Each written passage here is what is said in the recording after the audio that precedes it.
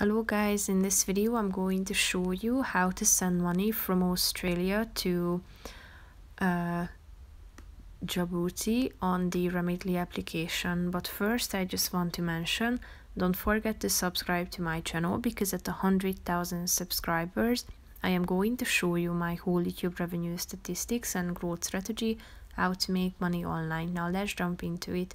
First of all, open the application on your phone tap on the flag icon in the upper left corner of the page and then you should scroll down until you find Djibouti. Click on it and tap on the get started button at the bottom of the page. Tap on it and then you should type in the amount of money that you would like to send. Click on done and tap on continue.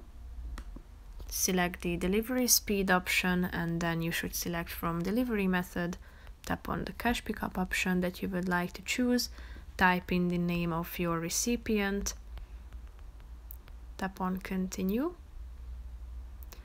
type in the city name, the region, click on continue, then you can add the phone number of your recipient but you can also skip this step.